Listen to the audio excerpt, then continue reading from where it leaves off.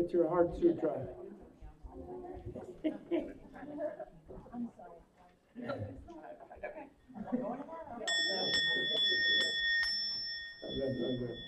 Have to do it wood. The time is now. Well, there's my, this is my, my own thing from, I got it at Eiheiji. You know what Eiheiji is? Eiheiji is in uh, Japan, uh, north of uh, Kyoto, northwest of Kyoto. And that's the monastery that Dogen founded. The great, uh, the great Zen master Dogen. And um, he founded Eiheiji. I guess people are still coming in. So I wait a minute and I'll tell you the story. And then uh, what I love about him is on his way there looking for a place to make a new monastery from Kyoto area, I think. He was intercepted by an emissary of the shogun. So that, that was like a recent time of shogun, I think 13th or 14th century. Kamakura period. And uh, maybe a little later. And uh, that emissary invited him to come with his uh, sangha, community, and have an official monastery in Edo, which is now Tokyo. Uh, sort of imperial, you know, but not imperial, because Shogun usurped the power really of the emperor, and they were just a warlord. And so he politely declined, said they weren't ready, and they had to do more for forest meditating in a more remote monastery. And, and sent a reply, uh, uh, you know, his written, you know, charter of him to go and have a big, huge, like, funded monastery by the government. But he declined, and then he sent a polite decline. And then, after the guy left, the emissary, he had his disciples take the chair that the emissary had sat in and chop it into pieces and burn it on the, on the ground where it had, because it was like a camp, you know. And then he had the ground where the chair had sat and where he burned it, dug down like almost a meter deep and threw the ashes and the dirt itself into the stream. Just to kind of show the disciples he wasn't going to be tempted. I really like that.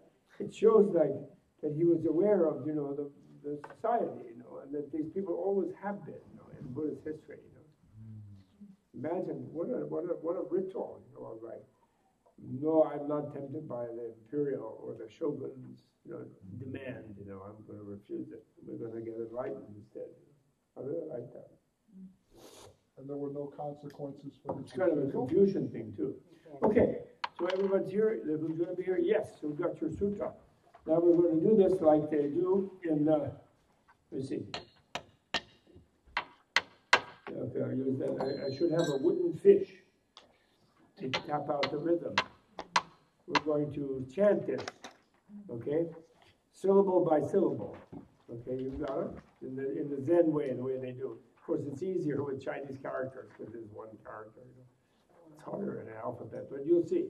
Allen Ginsberg told me to do this, but it's a Zen thing, okay? Are you ready? In Sanskrit Bhagavati Prajnaparamita Hridaya Sutra in Tibetan Chonden Deva Shara Parchin Oh, in English, the Blessed Lady Buddha, heart of transcendent wisdom, thus did I hear on a special occasion the Blessed Was dwelling on the vulture peak at Rajagriha together with great communities of mendicants and bodhisattvas at that time. The blessed Lord entranced himself in the teaching samadhi called illumination of the profound just and the noble bodhisattva Avalokiteshvara, the great hero, was contemplating the practice of the profound transcendent self-wisdom and Jaya that these five body mind processes are void of any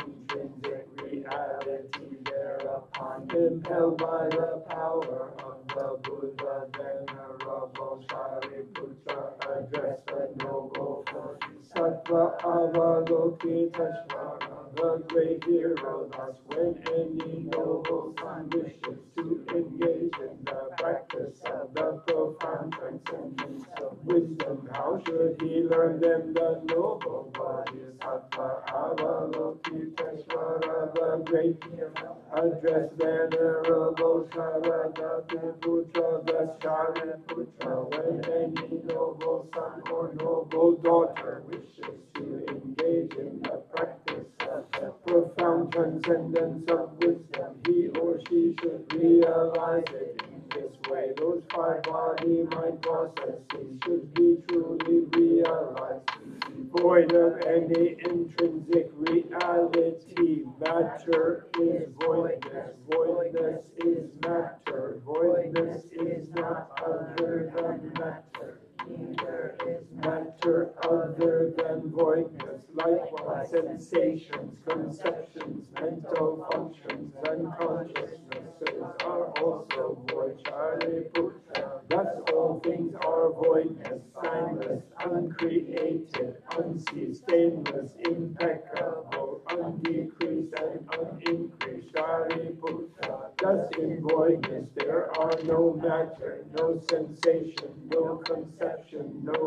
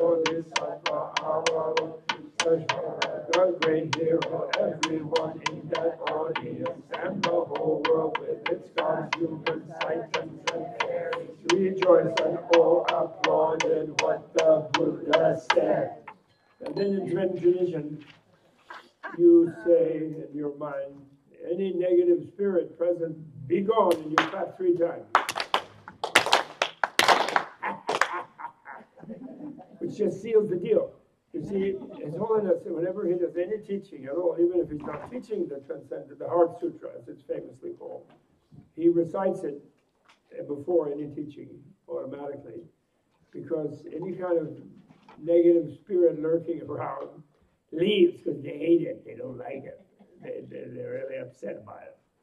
but then you, you and, and, and then this is the thing in Tibetan culture. Clapping is a way of uh, exorcising demons. So when the British invaded Tibet in 1904, after they shot down with Gatling guns about seven, eight thousand Tibetans up in the pass, they got to Lhasa, and the Tibetans were lined up on the streets clapping. So the Brits were surprised. They said, "Oh, they're happy we came." it was, uh, they didn't realize it was the last ditch defense, and it didn't work, unfortunately. And sorry, they didn't leave. And actually, the leader of the expedition, I'm sorry, I'm sniffling, it's all matter. Leader of the expedition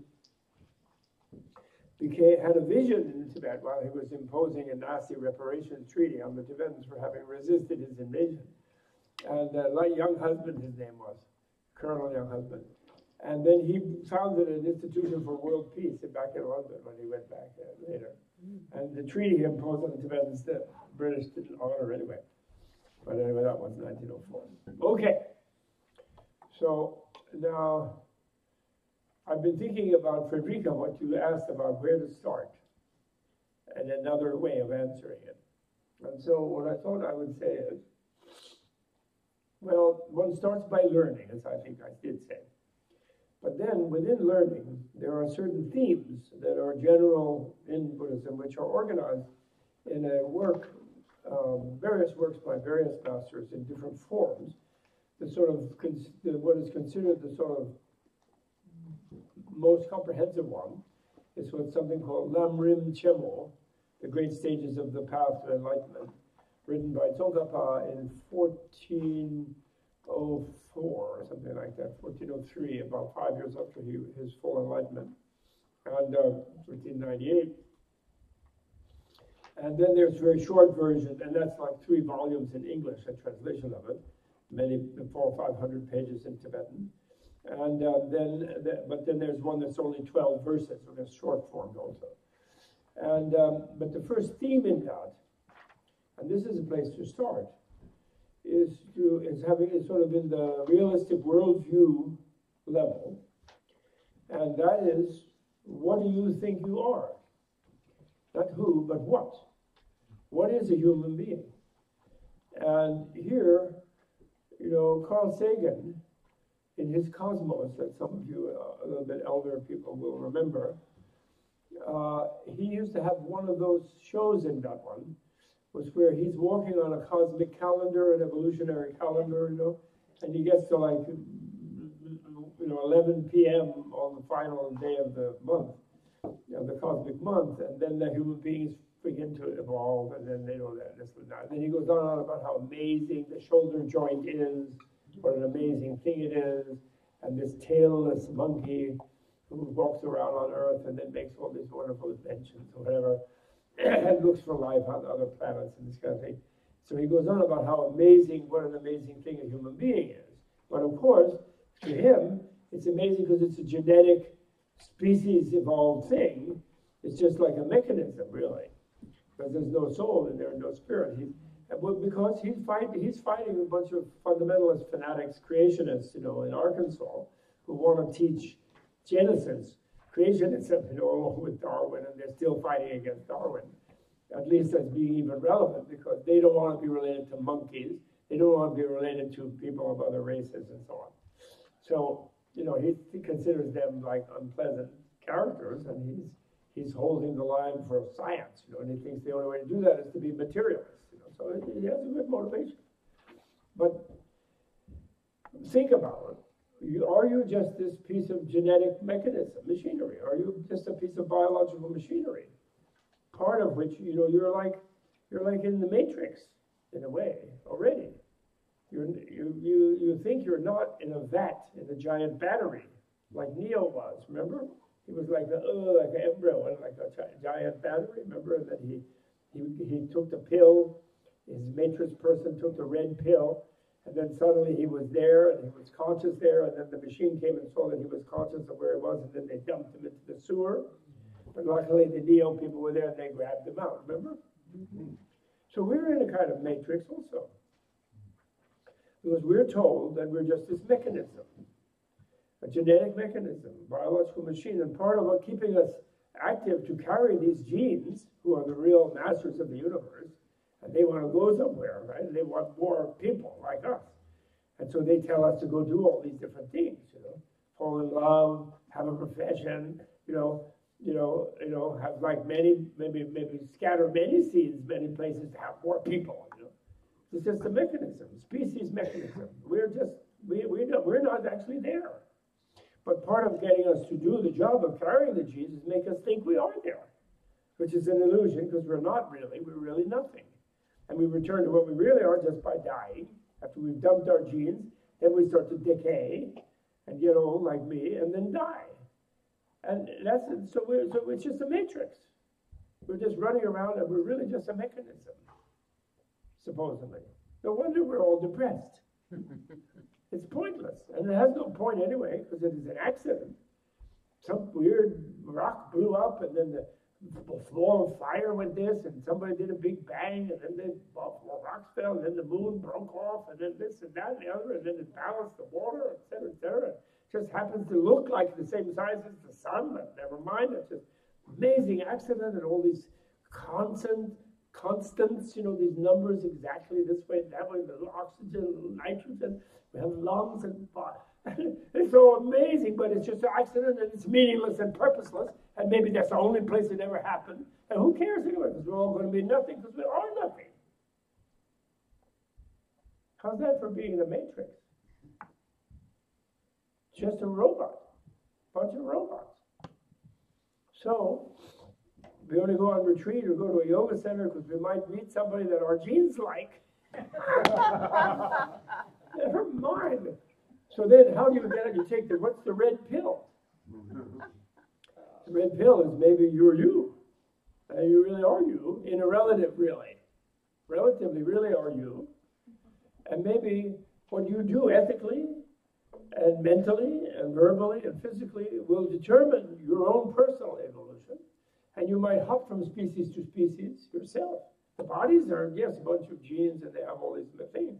And you're and you but somehow Instead of living happily like a hippopotamus floating around in the upper Nile and munching down some hapless guy who came by in a canoe. because he was here to annoy you when you were down there and you're a hippopotamus. You know, they're pretty fierce hippopotami, you know, they're big, you know. Instead of that, you like the guy in the canoe. You said, gee, that guy, he's in the canoe. He can get out of the canoe. He can go over there and do this and that something, and of course you didn't think it through, you didn't write a poem about it, but you sort of thought maybe that's nice to be like that, more free than just sit hippopotami here in the river.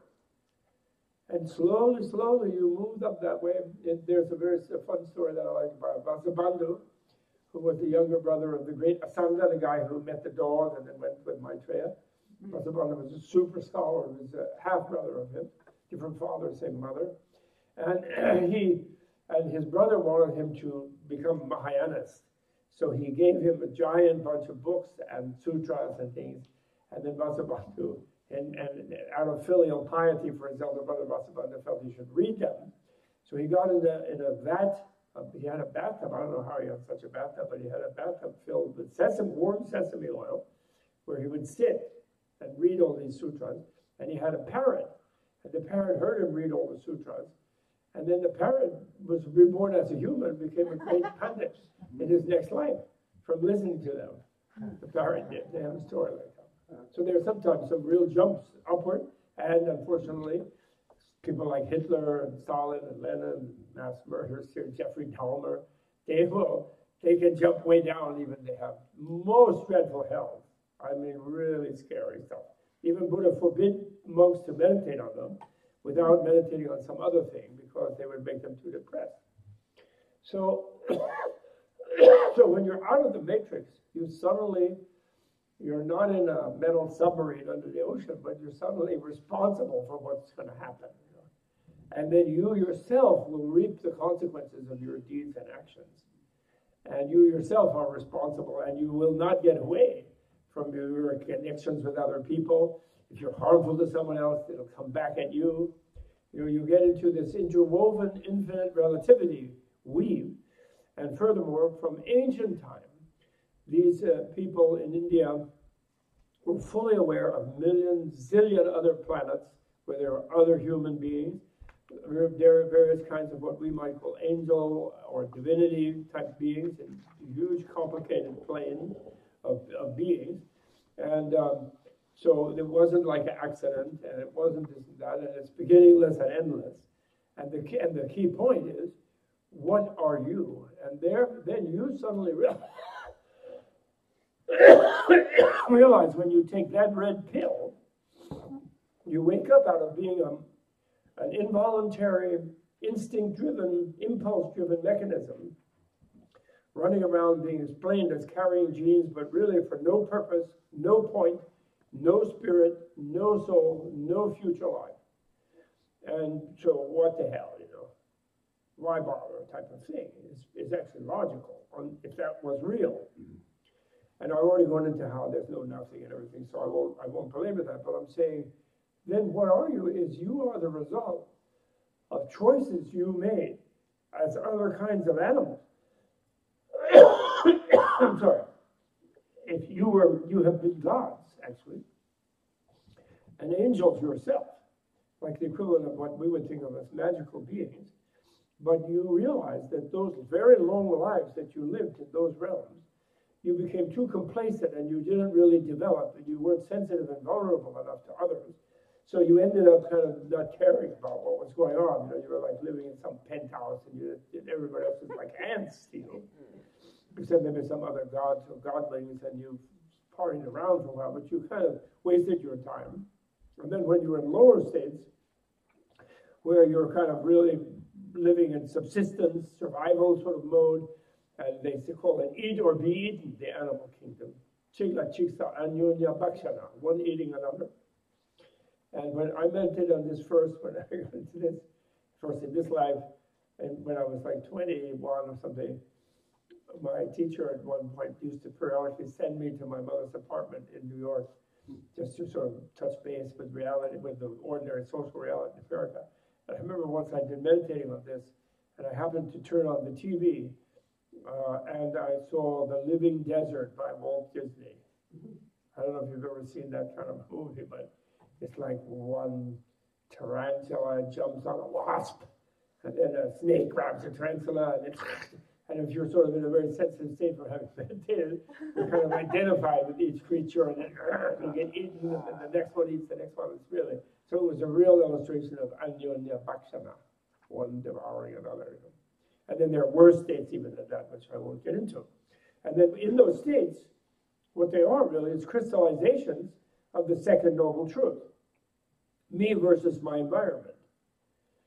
Because you, you know, you might think that if you were an armadillo with like armored scales, you know, when you're in the dream-like between state, and you see a body that seems well armored, and it's hard for some another one to bite it, that might be an attractive form of life. So you head toward that egg or whatever it is, you know, toward that female armadillo who's going to lay eggs. I guess they lay eggs, or maybe they are mammals. I'm not sure about armadillo. Whatever, crocodile, and you you might be attracted to that because you're feeling paranoid. You, you don't want to be some soft-skinned creature with no fangs and no claws and no poison that you can spit at anybody, and you you know, and not even a tail to hold onto the branch when you're jumping around in the tree to get away from the leopard.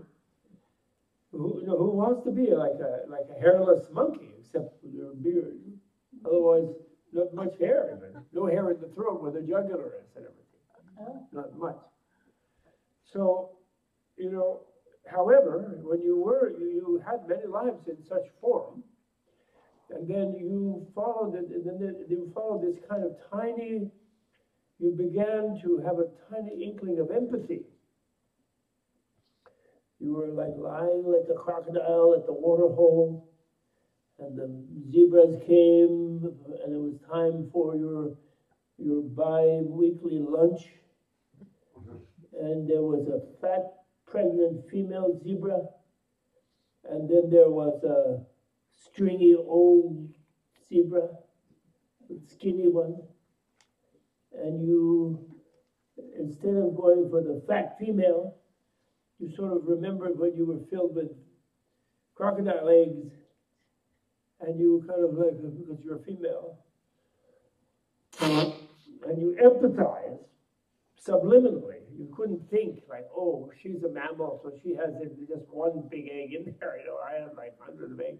You don't think you have no way of thinking that because you don't have that kind of language, but you somehow feel a kind of flicker of sympathy for the fat one, even though it looks more delicious.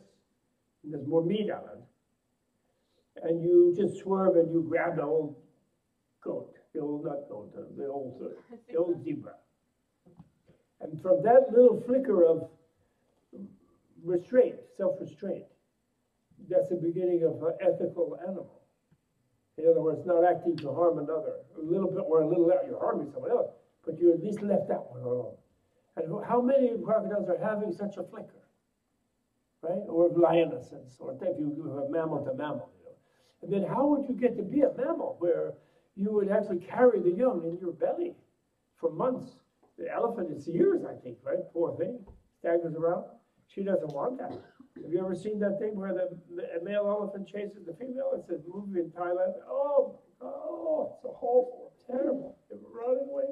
She doesn't want. She figured, you know, the guy's going to break her back. She's so scared. She runs away, knocking trees over. He's knocking trees over. But Nina does. My wife doesn't like me talking about. It. It's too funky.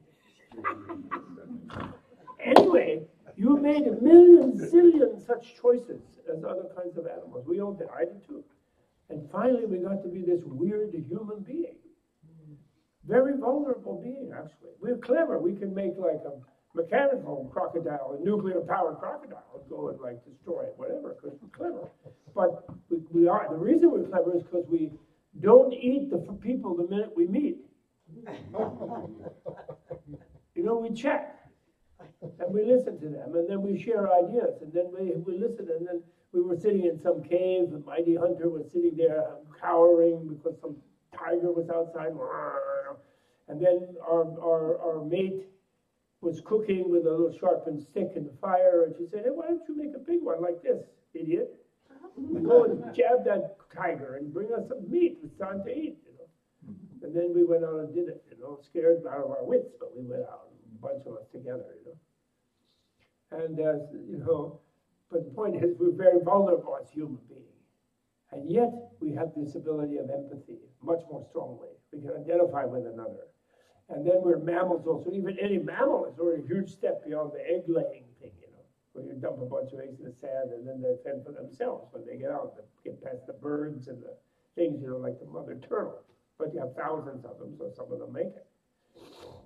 We just have that one and uh, and the, the, the higher gender of the different species are the ones who carry it. The guys are just running around roaring and growling, and they don't even know what's going on. right? Rocco's laughing.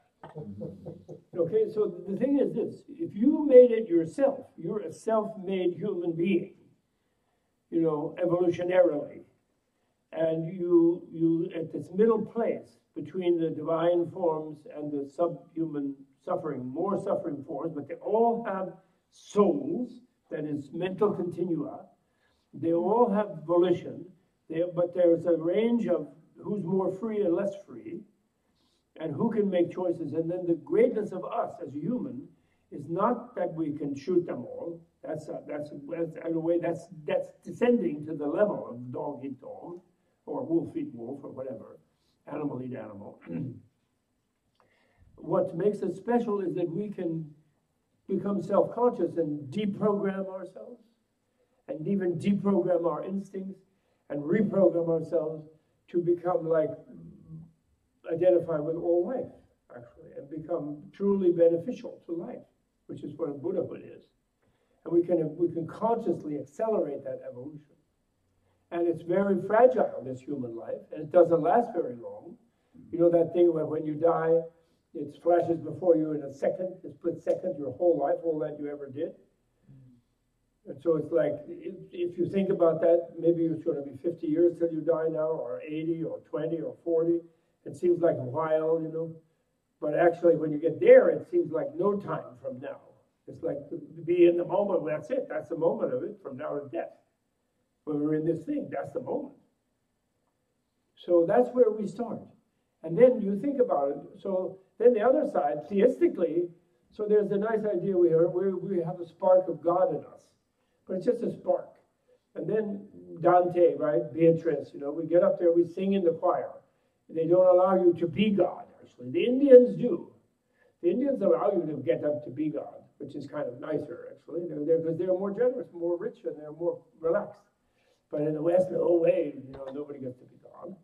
But you get to be sort of close by, you know. But this is a case where Buddha discovered that there was, a, you know, a culminatory state of being the mother of all beings, basically. That's what he said. There, that's, that's written in every text. Hmm. A Buddha is a being who perceives every other sentient being as a mother, a loving mother perceives her only beloved child. And then they get all teary eyed when they say that. and if someone's been a mother a few times, and they say, oh my goodness. So then they don't emphasize that because it's hard work being a mother. How about being a mother of everybody? See, ever worry about everybody like that. That would be a hard job. You'd have to be in another state. You'd have to have a higher bliss level to be able to somehow tolerate such a vast worry, compassionate worry that a Buddha does. But the point is, therefore, we as a human, able to understand that, eh, have language, can, Buddhas can talk to us, and also not, you know, there's a very funny sutta in the same Digha Nikaya that I read you from, where Buddha goes, as he promised his mother, who passed away soon after he was born and went back to Indra's heaven, like Olympus, the equivalent of Indian Olympus, you know, where the certain layer of gods live. Not the high, highest layer at all, but a very comfortable layer. And uh, he, he promised he would come there and give her a teaching after he was enlightened, when she was upset that he was tormenting himself and thought he would kill himself or die, you know, by not eating food. He said, "Don't worry, mom." You know, she spoke to him from heaven, kind of. He said, "Don't worry, mom. I'm going to get enlightened. When I do, I'm going to come up and teach you the Abhidharma." Poor thing. He was going to teach you the most boring type of Buddhist teaching you can imagine, listing all the mental functions and all this and that, cosmology and everything. So he goes to that heaven of 33. And then uh, Indra, the king of the gods of that realm, he realizes that this is in Pali, this is not just Mahayana, it's in the, it's in the Theravada thing. And he says to the other gods of the heaven of 33, okay, guys, enough partying now. Buddha's coming up here. You're going on retreat with Buddha, and you're going to listen, and you're going to study, and you're going to meditate. And they say, oh, give us a break. We were just about to go have a really great party over so-and-so's house. Why, who cares about that Dharma stuff, you know, like we're gods, you know. And then, and then Indra can't control them, so then he threatens them. He says, oh, listen, Brahma is coming from a much higher heaven, ah. Brahma, the creator, but who some people think is the creator, but not the Buddha. So Brahma is coming, and he's going to take the form of the five, five top-knot, you know, bodhisattva type of being, and he's going to whip you guys in shape if you don't. He's going to come like the the proctor, you know, like the monitor of the class, you know. Mm. And so you guys get there and sit and listen to Buddha while he teaches his mother. It's a really funny story. And they're okay, they're really upset, they can't go to the party that day, and they go and they listen. And then Buddha gives them a truly boring teaching about how many mental functions they have, what they, how they work, and all this kind of thing. So that's a, that's a cute story in Theravada. So my point is, if you're just a spark of God, but you're a sinner, and all you can do is just believe that someone else is going to save you, and then, you know, hopefully we go with Dante up and you see Beatrice and you're happy and you sing in the choir, you and Beatrice, to get holding hands, presumably, in Mark Twain's Eternal Church Social. And you and she, you and she sit and sing in the choir. That's kind of cool, but you know, in human life, what are you going to do? Just going to be in love with an absolute outside the universe that's supposedly going to take care of you, which may not be that realistic. On the other hand, you're you're a mental mechanism, and it's meaningless, and you're already nothing, so like, there's no point even in living, actually, really, according to those scientists, there really isn't. And, you, and also, you're encouraged to be helpless in both cases, actually, and you're encouraged to buy their, buy whatever they're selling you, you know because you're, you're told you cannot control yourself.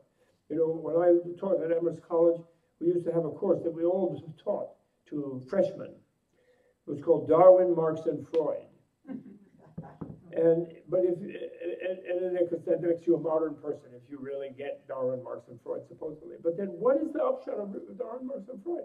All three of them make you professionally helpless. If it's Freud, your unconscious is controls everything you do. You think you make a choice, but you don't. It's your unconscious already made it like 10 minutes ago. So you're just a helpless victim of your deeper impulse and nothing you can do about it. If you read Darwin, your genes are telling you what to do. And if you read Freud, if you read, I'm sorry, Marx, your social status determines how you see things, and you and you're totally unfree. You're just a mechanism of your social state standing. So someone who completely imbibes those three as reality is then meat for Goldman Sachs. or whatever it is, just be like Charlie Chaplin in modern times, you know, like in the wheel in the industrial factory, you know. There's not, because there's nothing else to do, you're helpless. And that's supposed to be liberal arts and liberated of mind. That is. And they just let, you know, they, there's something great about liberal arts because the heretic technique can sneak in there and suggest to these kids that they can understand the world. They don't have to listen to this stuff. They can see what's useful in it and they don't have to just completely be enslaved by it.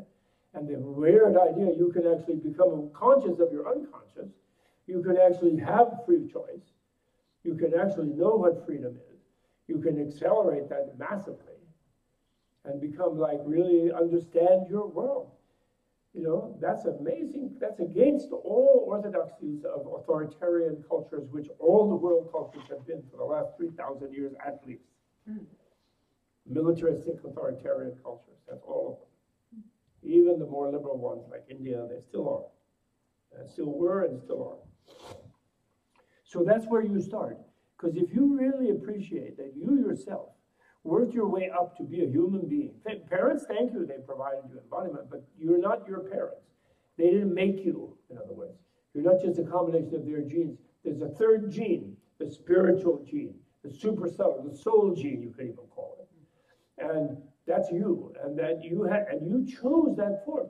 If you if you're a crocodile dying and being in a crocodile bardo, and you're going, you you somehow in your dream state you wander up and down Fifth Avenue, and you see some lady there who's sort of romantically attached to somebody. Do you really think you're going to be attracted to being a human being? Can't swim, no scales, no big jaw. I mean, would you really think it's going to be so much fun to be this like weird human being can't even swim mm-hmm. and has no scales and no teeth? You would not. Normally, it's hard to make a jump like that. Definitely. And you did it, and you only have it for a short time. And if your mind is filled with, you know, eros and thanatos, you know, as Freud claims, we're driven by our lust or by our aggression and fear and hate basically, and it's us versus everybody else, then it's likely we're, we're not going to choose this vulnerable life form that easily. It's not automatic. But I think they a little overemphasize that to make people use their human life. They say they have some really horrendous simile about how it's so rare to recover the human life if you lose it remaining unconscious. If you live through your human life unconsciously, just eating what's in front of you and consuming, getting and spending, you know, eat, drink, and defecate, period, and, and uh, whatever. You're, it's total waste of this amazing achievement that you did as a human being. And it's like, you know, if you go to, you know, some one of these billionaire, trillionaires, and you, you know, Jeff Bezos, Jeff Bezos feels he has no time because in any 10 seconds he could lose 3 billion. So he's like really like every minute is precious to him. He will take a break, etc., because he he reads mindfulness magazines and he knows that there's quality and so on, and doesn't want to get too stressed out. But on the other hand, his time is precious because his decisions involve what we measure value in, in, this materialist society, which is money. So we have evolutionary money. We are all evolutionary trillionaires of millions of positive actions that we have done in other life forms, and millions of wise intelligence things that we have done even in higher life forms, descending to this medium state of the human being. And it's incredibly precious. We could, and we could let it go and be, end up like Hitler or like a soldier in his army, or we could become a Buddha, a saint or a Buddha. You know, in a single, actually even in a single lifetime. Usually when we sign up for that in the Bodhisattva thing, one's ready to go and evolve for a billion lifetimes. But in this esoteric thing, it can be much faster. But, but, no, but no less difficult. But just accelerating the difficulty. Do you, do you follow? Mm-hmm. So that so the point is when you spend your time, what are you doing? Well, I'm waiting for so and so. I'm passing the time. You know, people will say, right? Well, why are you watching that stupid show on TV? Well, I'm just passing the time. You know, I'm going to go on vacation next week or I'm going to go to work on Monday. So I'm just passing the time. We say like that. So we're not considering that our time is valuable. But our evolutionary time as a human being is immensely valuable. And that's why when people get that, when they would meet Buddha or throughout the history of Buddhism, they would like, they get in the field of this type of self-awareness of what, what they could achieve as a human being, of what the human being is capable of educating themselves to become. They would say, I don't want to waste my time at the office. I don't want to waste my time in the family. I don't want to waste my time in the army. I don't want to, I want to like put my mind into lucid dreaming, finding my super subtle soul self. It's the one that goes from life to life, becoming conscious, going to my unconscious, control my instincts, even not just my surface impulses, but even my instincts. That's what, if I can do that, that's what I want to do. I want to be, sorry, more and more free. If I was more skillful, I could mute it and sneeze and turn it. sorry for that noise. And uh, you follow me? So that's the beginning. Is the, our culture does not encourage us to value ourselves. Actually, that's why we'll throw ourselves into the war. You know? Oh, because W wanted to go and liberate Iraq or something, or liberate the oil and Cheney wanted the oil wealth there. So we're going to go and be cannon fodder for that because we're patriots. You know, not really. That's why they didn't have they had less wars in Asia after a while. They had them, but less. You know, and then they were vulnerable to the colonialists who came with their cannons and stuff. They invented gunpowder, they didn't use it in war. Because that was not an important occupation.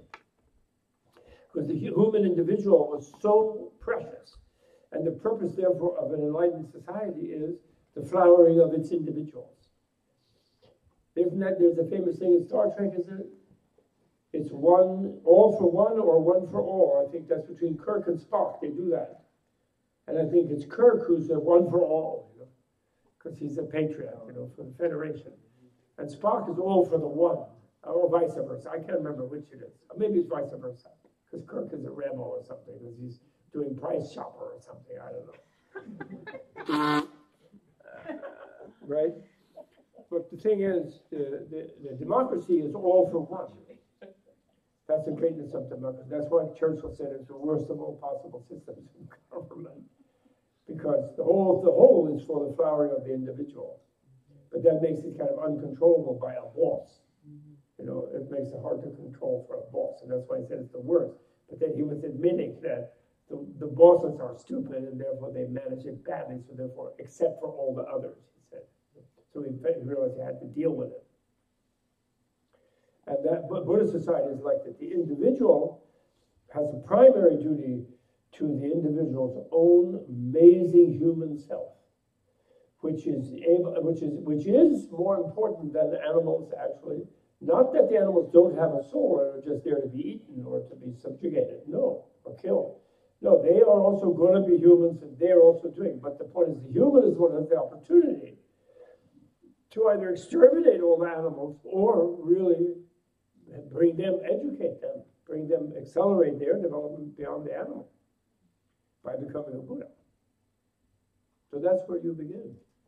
If you really value yourself, you will use your time wisely and you will realize that education, and this is, you know, in the five principles of Buddhist society, the third one that I found, I sort of extracted from all many different Buddhist texts in my Inner Revolution book, before that, I wrote a politics of enlightenment sort of thing.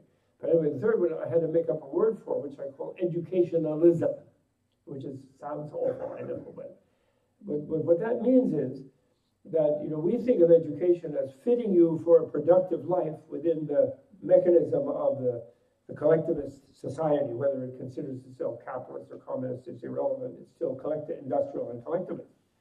And and uh, but if the individual's ability to become a Buddha is their highest duty to the to not only themselves, because as a Buddha they can really be of benefit to other beings, much more than they can as just part of a mechanism. Then you, that's true individualism.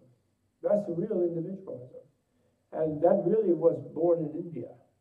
You know, I always used to tell my students because there was when I first started teaching, Robert Bellah, who famous sociologist, he would, he had a theory and he would look at all the world ideologies and religions and he would say, oh, only the West has individualism. We're the mighty individualists in the West. All those Asian people and all the tribal people, they just think they're part of a collective. They're caste or they're this and that. They don't perceive themselves as individuals. They actually thought that, a bunch of racist whiteys. And these, and these great Harvards and things, they actually thought that. They wrote that down and people, oh, he's a great sociologist. That's ridiculous. And I used to tell my students, Michael Burbank heard me when he was a student. And I said, You think you're a rugged individual here in America? Okay. You go strip naked, get a trident, paint some stripes up and down your forehead. I didn't say smoke a chillum because I would have been arrested. smoke some hashish, I didn't say that. I said, make a hairdo, build up a big hairdo with cow dung, and march down Broadway and go to the noodle shop and demand a free lunch and see how far you get. And meanwhile, there's 80 million people in India who live like that. And people feed them and honor them like that because there's, even though many of them are pretty funky, they're not really, I think, necessarily doing the right yogas. But that's individualism. Not this like go to college and be pre-med or pre-law or pre-econ major and then go to Goldman Sachs. Hmm. Or be a lawyer and then become a senator and a president. No way. I find individualistic. Okay, so that's where you begin. Then the second thing you do in the beginning is a little less jolly about self-congratulation of I'm a human being. The second thing is really important is you think about death. And you there's said to be three roots of the meditation on death. Maybe we should meditate that. so I don't, I want to don't want to just talk all the time. Let's meditate on that. Go into meditative mode. And uh, in meditative mode, you think about your death. And don't freak out, don't be afraid. Well, you might be, that's okay. In a way, you should be. If you're, if you're not fully in control of your unconscious mind, you're not sure what it will do. It's like you, you're, if you're not a lucid dreamer, you've never had a taste of lucid dreaming, and your dream is just like manifesting the unconscious, then you should be afraid. But anyway, think about your death. And then the first root is where you you sort of repeat to yourself or you try to make vivid to yourself the fact that you're going to die. And when you have meditating on this, your mind will protest. Because it will say, What do you mean? I, I don't have to meditate on this. I know I'm going to die. But then you sort of critically think about how you think about things. And you always procrastinate. And oh, I'll do yoga later. I'll do my downward dog tomorrow. I'll really be a yogi after I retire. I will go on retreat, you know, now and then, like next year. I will, you know, you're always assuming. You're living in denial, actually, of the fact that you're going to die. If you really meditate on this strongly, you will come to see that out of a misplaced sense of self-defense, you, because actually being, being acknowledging to yourself the immediacy of your death, the immediate possibility of your death, brings you much more to life. So it's actually very inspiring, actually, rather than morbidly, you know, like depressing, actually. But if you really face it, if you're going to keep it in by denial, sort of out of sight, but sort of subliminally aware it's going to happen later, that makes you depressed, actually. It's like it sneaks up on you. But if you really look it in the face, you know, Carl Castaneda's Don Juan used to say, you know, if you take death on as an advisor, then that brings you really alive. Because you, you that's it, that enhances your feeling of the value of being alive immensely. And then the second route, so you do that. So meditate on that for a while.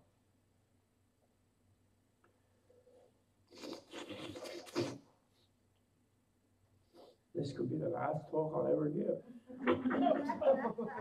this would be the last one I'll ever hear. Think about it. You can add the second root in. The second root is so that's certain that we'll die. What's uncertain is when.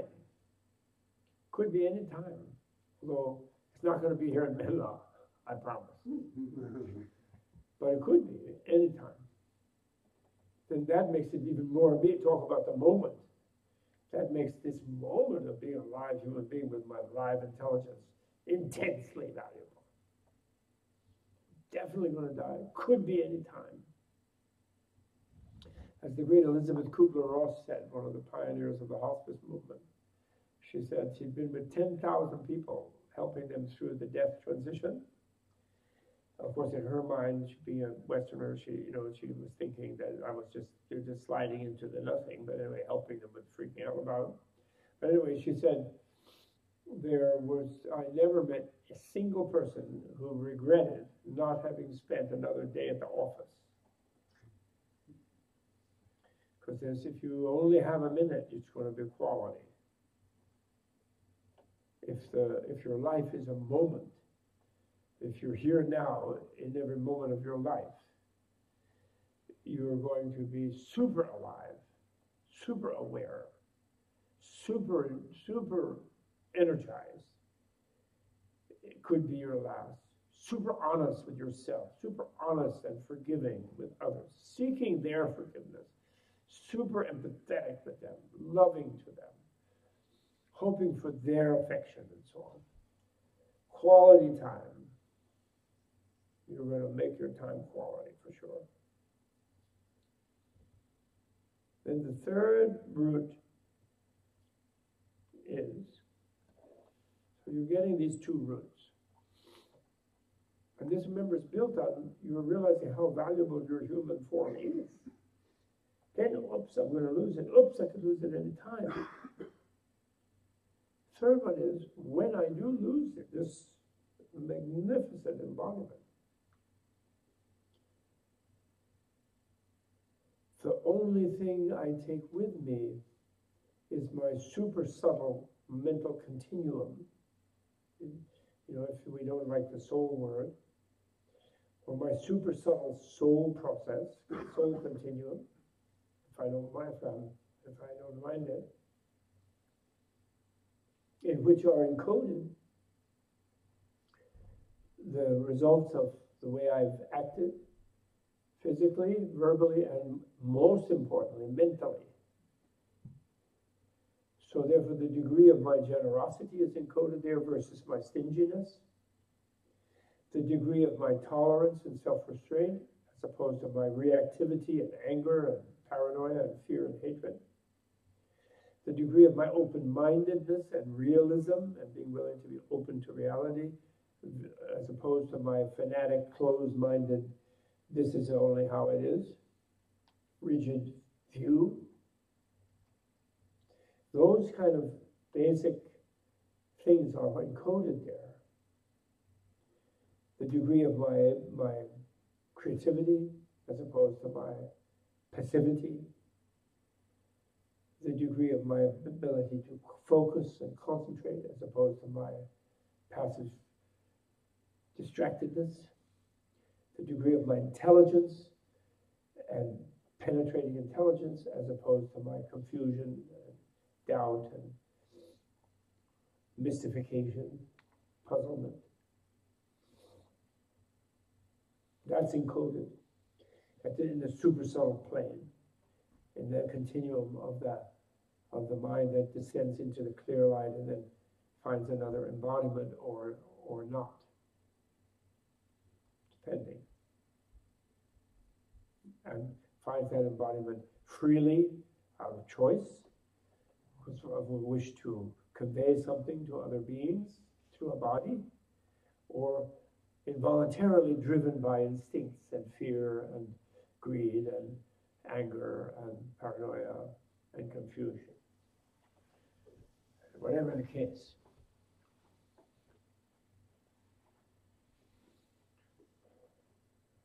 So, if the ultimate nature of quality time is investing in the soul, then one invests in the mind. Then one, there's no, there will not seem to be a waste of time to do a meditation practice or to learn something, to open one's mind, or to be loving as opposed to angry and judgmental or to be generous as opposed to clutchy and open.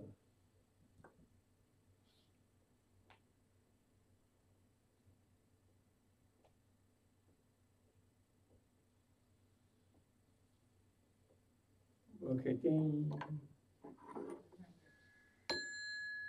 If you meditate on this, you become not the living dead the person who lives unconsciously as a robot and a mechanism is the living dead.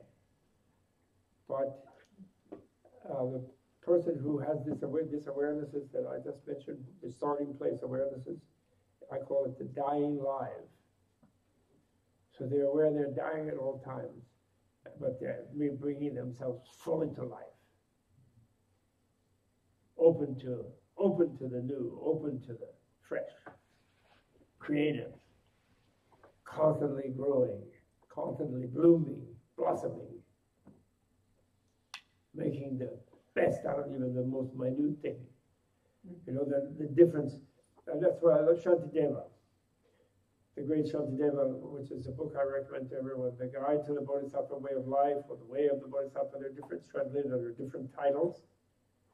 And uh, uh, had a really great title for it, I forgot now what it was but uh, engaging in the way of the Bodhisattva, the life of the Bodhisattva. But anyway, never mind. But uh, he wrote this one thing. He said, "In all my future lives, when anybody, uh, as a human or whatever it is, but especially I guess as a human, because you have to have a hand to fulfill his vow to himself. Whenever ever anybody ever asks me for directions, I will never point like this with my index finger Like it's over there. You want, you want the ladies' room? Over there. I'll never do that.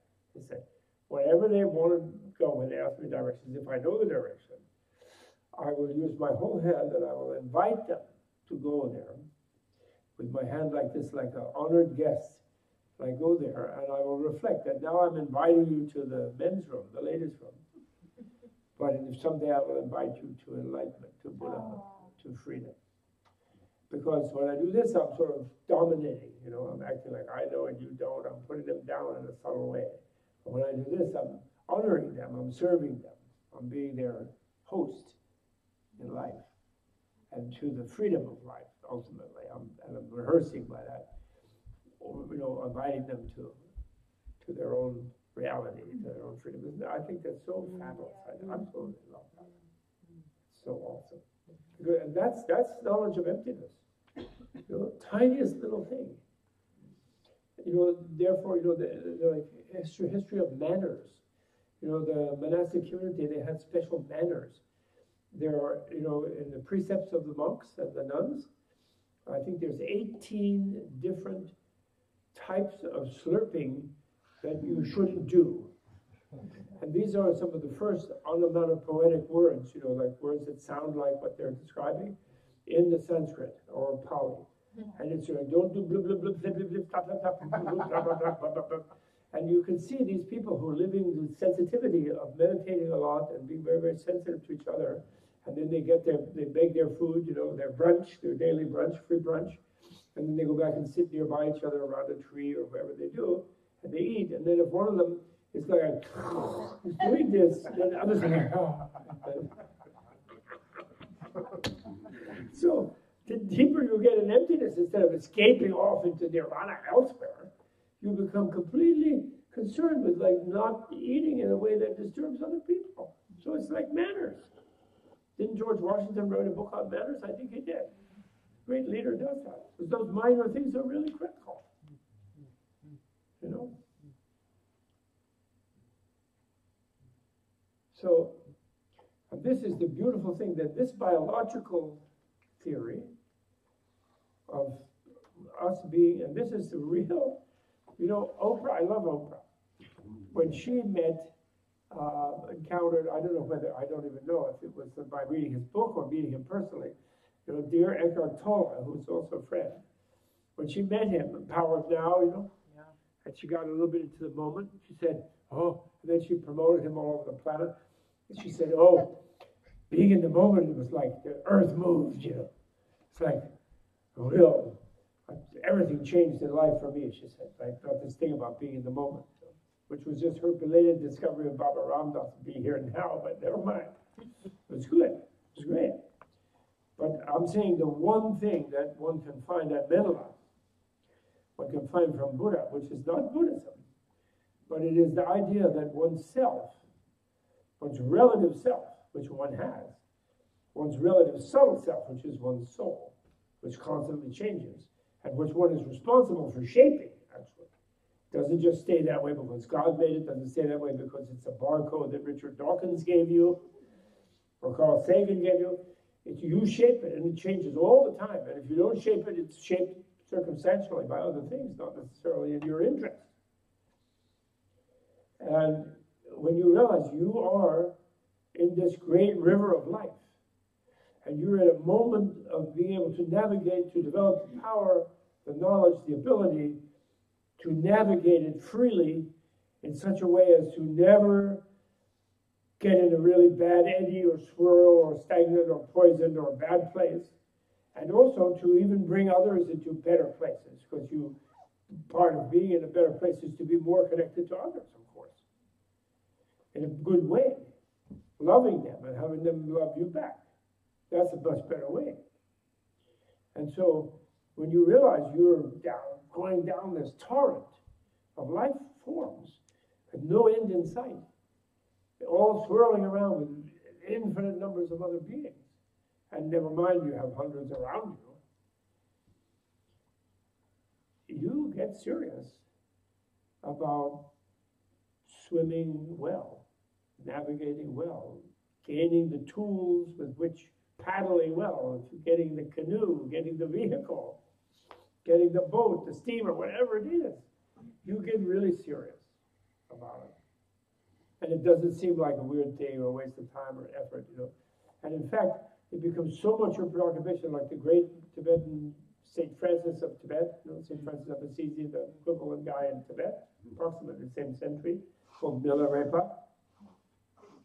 He said, someone who has idea of what the Dharma is to a human being, you know, the Dharma just meaning, you know, teaching about the nature of reality, you know,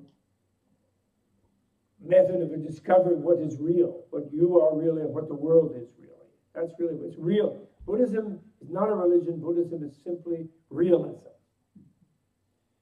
deciding you're going to get real and you're and you're going to find what is real.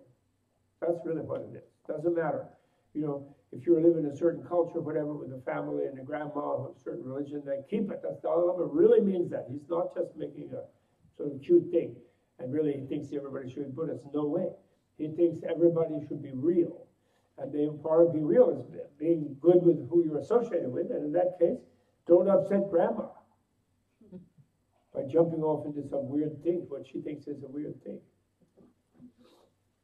Just be more real and she'll be really happy.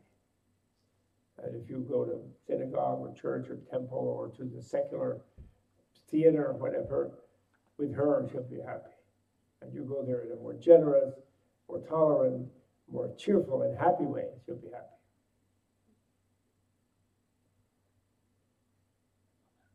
So the, the, this biological view, and of course it's not absolute, it's not dogma, it's just a useful way of, it's a scientifically useful, and remember scientific theory has to have simplicity, has to be corroborated by evidence, it has to be elegant also. And actually, it, it's good if it has its good implications. And the implication of this, how do you shape your spiritual gene, your soul gene, your super subtle mental gene? How, how do you shape it? Well, look at, look at the possibilities in life. The worst way of living in life is deepening your sense of isolation and alienation. Hell is the supreme isolation. It's like you're in a little, you get into an iron fort and your walls are blocking, but you're also imprisoned in there. And then the walls will crush in on you, you know. But the point is that no one else can bother you. It's like supreme level where paranoia will take you. You know, live by the sword, die by the sword, you know. Then you're in a forest of swords, you know. It ends up because there are more other swords to come and get you, you know. So they did, but they but they describe it in such a vivid way. All in 32 hells, it's just too much. I'm not going to get into it, but I'm just saying, obviously, the worst form of life is the more isolated you are from others, the more barriers between you and others, the more alienated you feel. And the best form of life is where you are all the others, and they are you, and you're like they're like your child. You know, they're just part of you, and you're a part of them which is of course inconceivable that you could feel you are everybody. Like right here and now in this room, if you suddenly felt you were every single person in the room, that's kind of inconceivable. Like which which perspective is preferable? You know, different. Everyone's thinking something different. They're, they think they're in a different place. They identify with themselves in a different body with a bunch of different senses. And suddenly you will feel all of that. You're aware of all of that. And then this is to a cosmic level enlightenment, apparently. It's, it's, by, it's a definition, I, and I hope it's true. And apparently you can bear it because it's blissful. You perceive others as really being blissful, even though they think they're miserable. But you see them as, as the deeper way they actually are. Simultaneously, you don't ignore that they don't see themselves that way. So you, you're there to help provide them with whatever mirror it needs to reflect that to them, their deeper, blissful self, actually. So so that's the gamut of expanding to be all life, to feel identified with all life, or to take your life and make it as isolated as possible, that's the worst possible way and the best possible way, just you can see that theoretically, then killing physically, taking, depriving another of their life, that is depriving another continuum, you know, soul, subtle, subtle mind continuum, if you want to use the Theravada expression, or soul if you want to use another expression, you know, depriving them of that embodiment that they had, especially human, which they've earned, they themselves have earned over aeons of past lives. And they have made, won their way to this amazingly sensitive and vulnerable form, an intelligent form. You are saying that piece of life is not connected to me. I'm separate from that. So I can take that life. So you're that's a step toward isolating yourself by just not identifying with that life. You save a life, on the other hand, you know, all these cultures have, you know, you save someone's life, then that person, you know, you know, Tonto follows you forever because you saved his life. All these samurai movies did. Oh, you saved my life. I saved your life. Oh, I'm, you're a different clan than me, but you saved my life. I saved your life. And then, so you kind of belong to the person who saved your life, and you take responsibility for the person whose life you saved. So the two of your lives kind of join at least to that extent even though you still think you're, you're not enlightened, so you still think you're separate bodies, blah, blah, blah, over there and over here. But you actually saved their life, so you, that's identifying with them. So that's expanding you toward this infinite identification, right? Limitless identification. You get it? Yeah. You take their property that they didn't give you. Then you're ignoring their sense of possession. As opposed you give something, then you're sharing your sense of possession with them and enjoying them possessing what you enjoy so those are again identifying, expanding your identification. And then the saddest one, these are the three physical in how to navigate evolution. If you see it, not just as ethical rules. That's why Sharon was amusedly and humorously saying that I don't like right and wrong. I like realistic and unrealistic with these ethical things. Because this is reality, that this kind of action makes you bigger and better and more, more expands your sense of identity and your sense of you, what kind of life you belong with, and the other one contracts it. And therefore, they're really being, being nice is realistic. It's not just self-sacrifice in any way, it's being realistic. So, so that's why I prefer that. So, because I think it's amazing, it's marvelous, it gives you a reason. And it doesn't matter that you know, there's a self there's a selfish reason for being altruistic and being ethical. That's good if that's the case. You know, they have arguments, psychologists, there's no true altruism because people get something out of being altruistic. Well, no. That's okay, that's a that's like a quibble, terminological quibble. But the fact is if you get a benefit out of being better to others, that makes you stronger, motivated to be better to others, so that's fine. That intensifies your altruism. And then I said the third one, the third physical one is sexuality. Sexuality is where, as a marvelous human being, you have this wonderful access, even following your instincts, because your instincts are already tempered as a human being. It isn't just complete, you know, no foreplay procreation. It's like much more sensitive. And it's a time when you can melt and at least identify with one other being, at least for a while without any kind of idea of anything. You know, it just sort of naturally happens. And to use that sort of thing, which is one of the benefits of the human being, one of the, one of the learning places for the human being, to be abusive to someone to harm them, either socially by breaking up their family or doing something, or even physically, you know, by becoming sadistic or brutal or whatever, and so it's real. They, they you'll read in books it's called adultery or not adultery, but that's only in monogamous societies because that can be harmful to someone. It isn't really that. It's it's basically it's uh, harmful sexual engagement versus beneficial sexual engagement, and that's defined in different ways in different cultures. But basically, it's loving. It's when you actually loving in the real sense of loving, not just greedily grabbing, but loving in the sense of wishing the happiness of the beloved your, your main job is there is the other be happy. You know? So then you have two who are making each other happy. That's of course the ideal thing. That's Romeo and Juliet, of course, and then everybody else hates them. They can't it. Dad, what about me? You know? but the point is, that's a that's a marvelous thing. It isn't that marvelous for other animals. Check it out. And then I won't go there. Then I get mad at me. I do. But believe me, that elephant movie is surreal. You really don't aspire to, to some elephant elephant play, you know. Not really foreplay. Foreplay with tree trunks. so so so then that's a that's a physical one. Then verbal ones. You lie to someone, you're creating a false reality in which you're entrapping them instead of sharing reality with them, whatever you think it is. And you may not fully know it, but at least when you tell the truth, you're, what you think is the truth, you're sharing reality with them, so you're uniting with them in a certain way. Speech where you divide others from each other, you create conflict between others, you know, slanderous or backbiting type of speech, versus diplomatic, peacemaking, reconciling speech. You know, people do that with each other to, oh, I'm going to be your good friend because that other one isn't your good friend. They're no good, you know, so then you think you're bringing them closer, but actually you're harming them by making them lose another friend. Mm-hmm. Instead of reconciling those two, then both will be your friend, actually. So there you're expanding to both of them. Speaking harshly to them and using speech as a bludgeon on them is harming them, and speaking sweetly, singing, whatever, you know, healingly. It's a, those are uniting versus separating. And finally, speaking meaningless, babbling meaninglessly versus meaningfully. Mm-hmm accepting the privilege of being heard by someone and doing something that benefits them by giving them a deeper sense of understanding, of, of some knowledge that they could be used, something that they could that helped them. Those are those are the equivalent in the in the Western thing of blasphemy. So it's just blasphemy is speaking stupidly to other beings, meaningless babble. It isn't necessarily only gossip. It's just meaningless babble, pretending to know something that you don't and misleading them so on.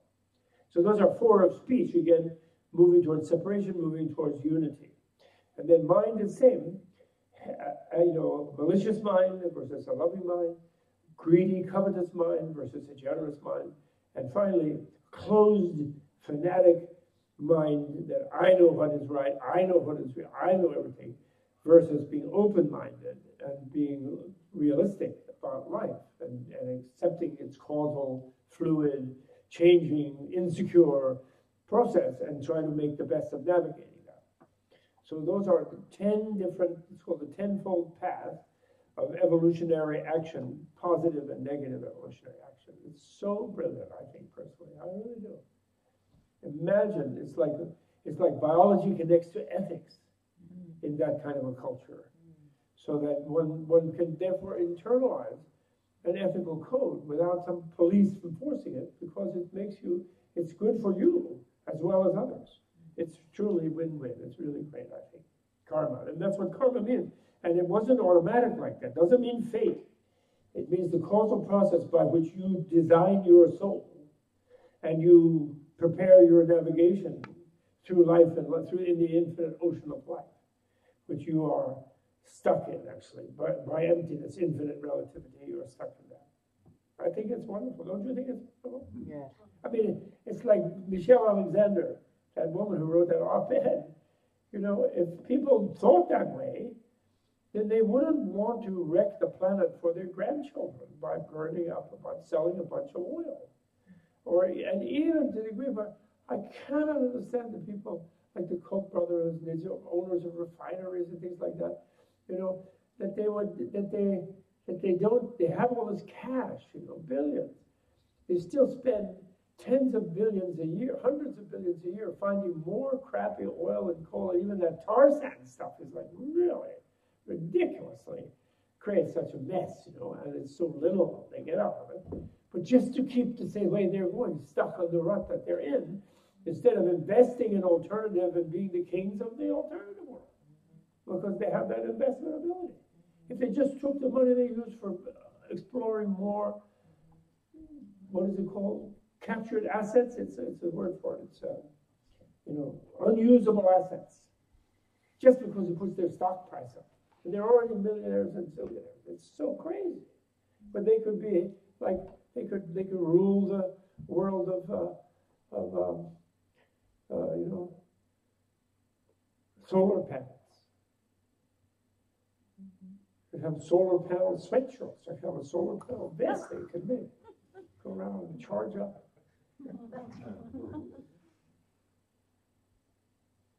Solar panel to fingernails. Running my the iPhone once I put it in my head.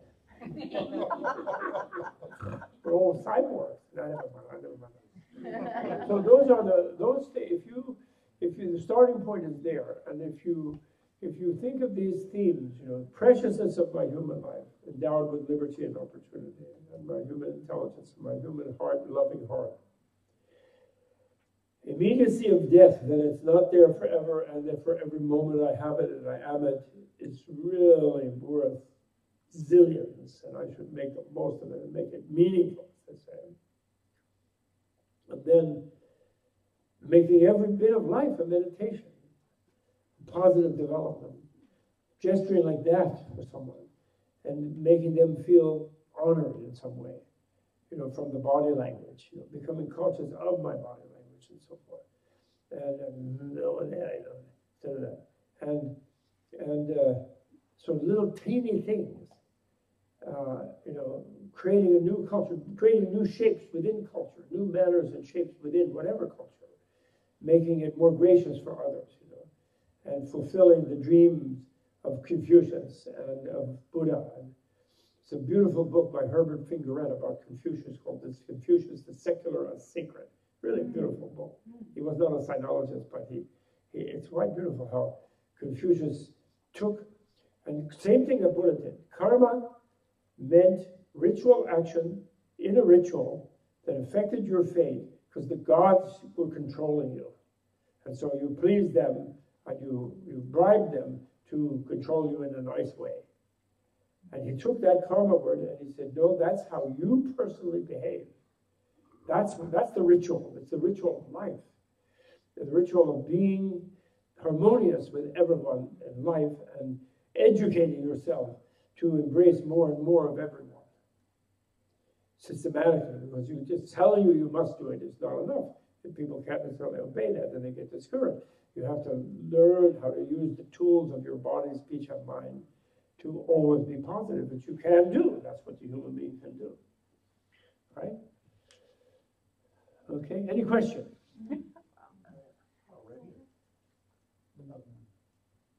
Thank you. I have a comment. I'm here. I'm here. Hi. Oh, hi. Hi. Yeah. Um, I have a comment, and I would like to hear your response to You it. have A comment. you have a comment, okay. So, what you were talking about about the gesturing of hands For example, yeah. reminded me of a, a recent time I just brought my kids down to the Holocaust Museum in Washington, D.C. Uh-huh. and we had this experience of going through there.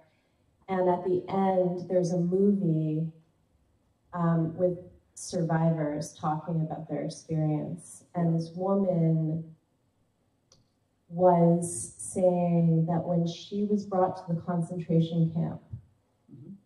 and she smelled the burning flesh Mhm.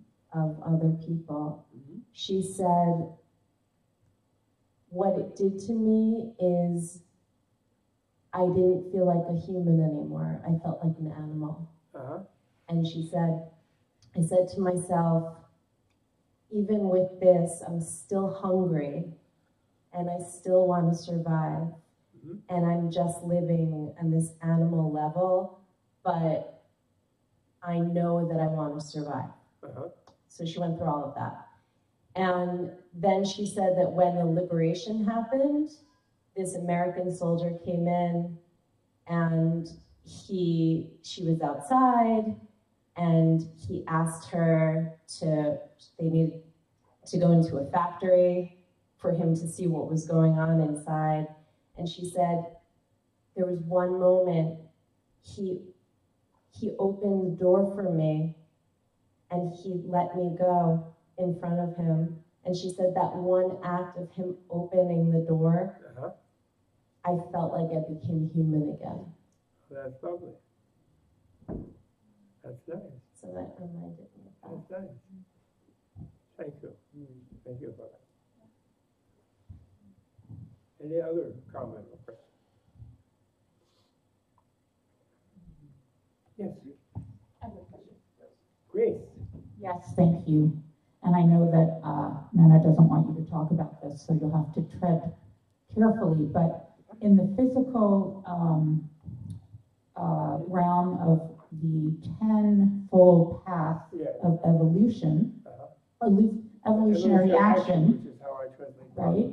So the third in the realm of the physical, which sounds like it's uh, a sexual union, which I, of course, in the most blissful way, let's say, uh, also then can can produce children that raise well, can be of benefit to. You know, I mean, there's a I don't know if that has anything to do with it, but I'm just wondering about. Um, uh, what am I wondering about? I guess. Uh, how, I guess, I guess just maybe I just keep thinking about trauma and recovery from trauma or how, um, I, am rereading Open to Desire by Mark Epstein and Renunciation and just thinking about, um, I don't know, I guess forms of vulnerability that aren't just about the jugular and how we work with all of that, uh, too.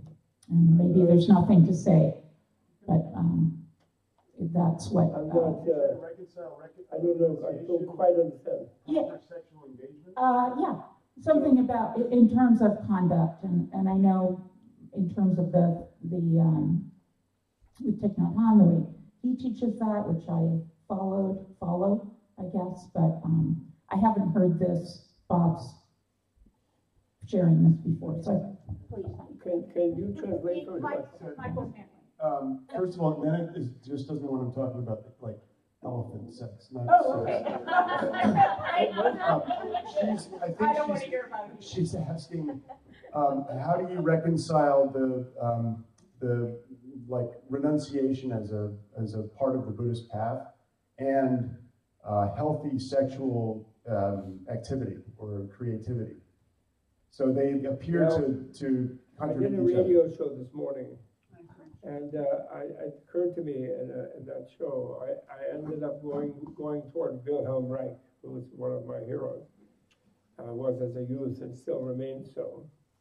And, uh, and then I, I realized that, you know, people think, you know, the function of the orgasm, right, Wilhelm Reich.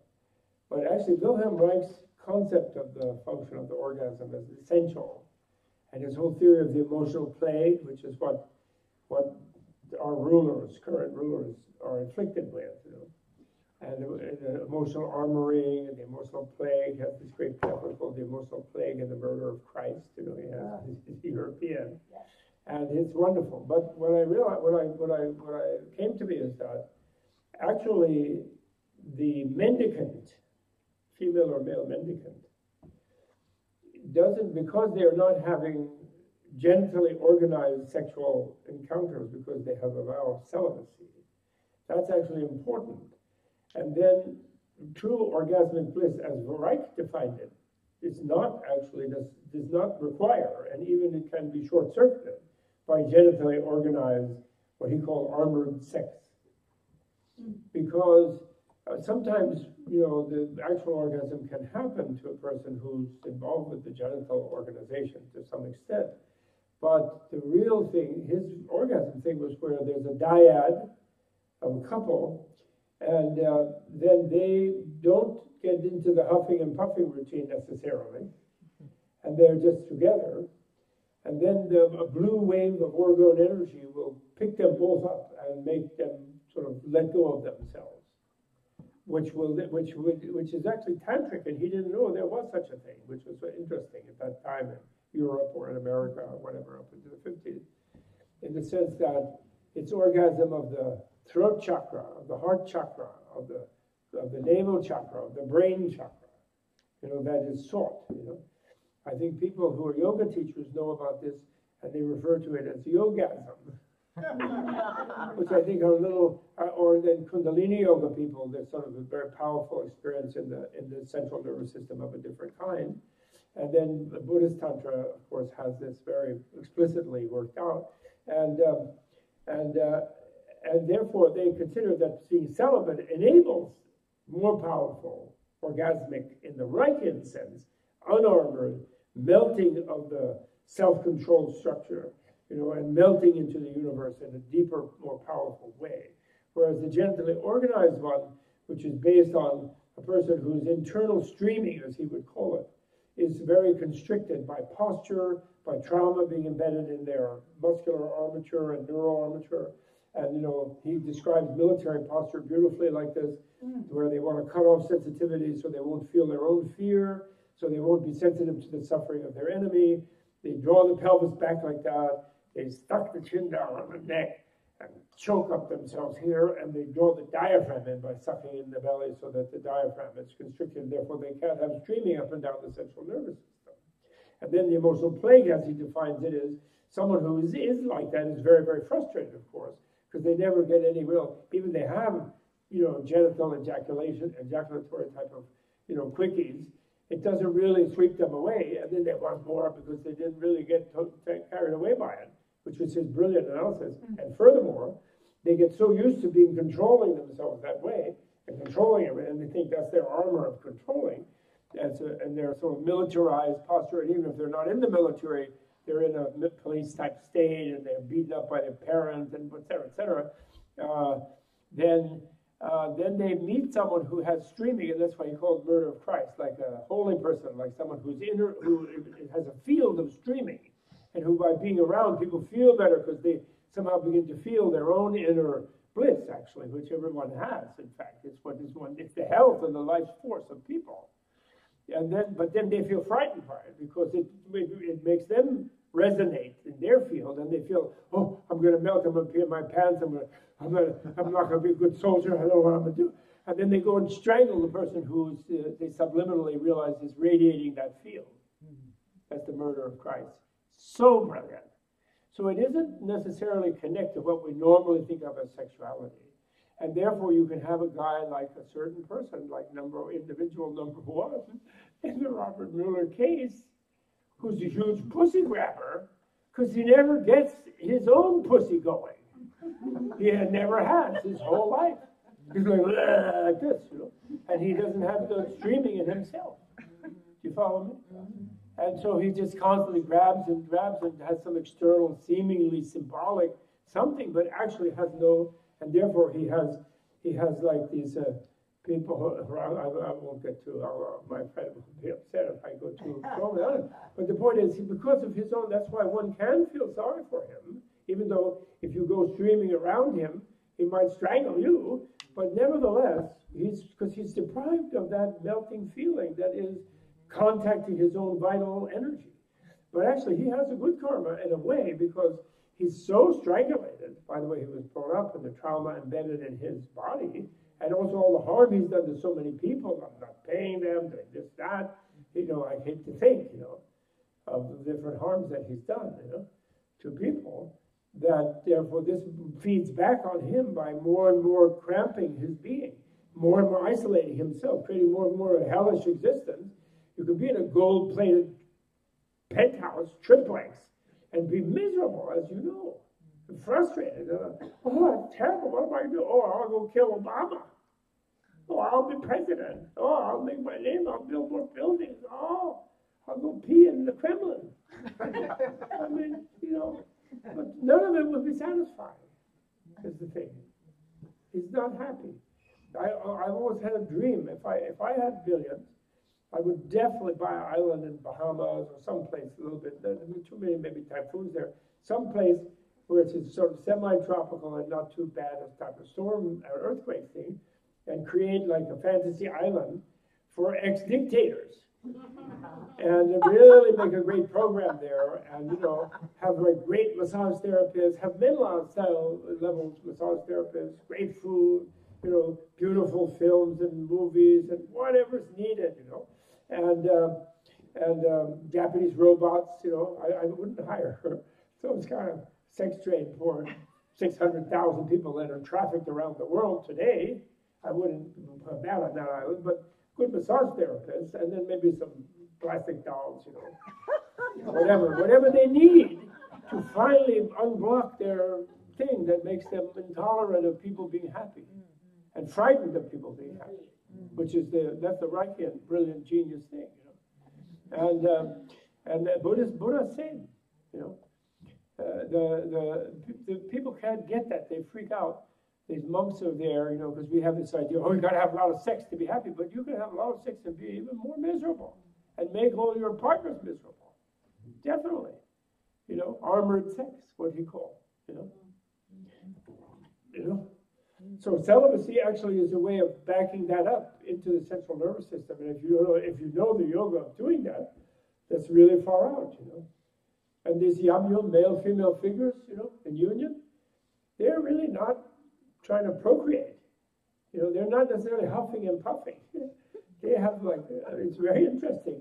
They're they're locking two sets of chakras in a balanced thing, and they're they're they're they're liberating.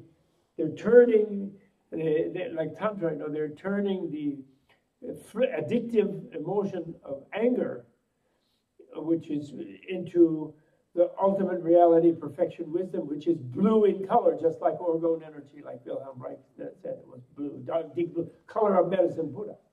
The blue color, the deep blue sapphire color, is the color of hatred turned into realizing the perfection of the universe, which means that they're using this balanced thing of the of the humanoid like coarse body to create a space where they're okay in, in there and yet they're ready to give their body away. So they're staying alive by you in union with each other and and and yet they're just as well uh, let themselves go in the the grand mort, the great death of enlightenment. It's really a beautiful thing. But it doesn't involve uh, necessarily being a layperson. The celibacy is actually a step toward that Therefore, for example, in Kalachakra, some tantras you have to resign as a monk to practice the higher levels because you do need something. But like Kalachakra, the, the very highest of highest initiations is only given to what they call a bhikshu vajradhara, a celibate vajradhara. And the, and the lay people can't reach that highest one. especially Kalachakra, which is the most explicit of them. So it's really interesting. So therefore, all those incarnations, you know, those Tulkus, but Tulkus, the ones who had because of the, they were no longer monks because they were out there behaving like they behave in the world, you know, teaching Dharma and doing some good, but they're not allow allowed into that deepest initiation, actually. Only the ones who are still monks or nuns. Not so much nuns, because they, nuns are not so well educated, although Dalai is trying to fix that now. We do have some nun geshes and we have some non, uh, non Vajracharyas, I hope. Okay, so it's 5:45, so it takes a little time to walk down through the through the weather carefully. I think it's above freezing, but there may be ice. I don't know at this time of day. So have a leisurely stroll. Anybody wants a ride? I have an empty back seat, and I will be puttering down to dinner. And uh, I'm so happy to see all of you. Thank you. And I was learn, you see. Thank you. I always learn when, uh, when there are people with open minds and are interested and they want to be more part, of the larger life. I always learn a lot. Because, you know, from having to talk to them, that I learn stuff.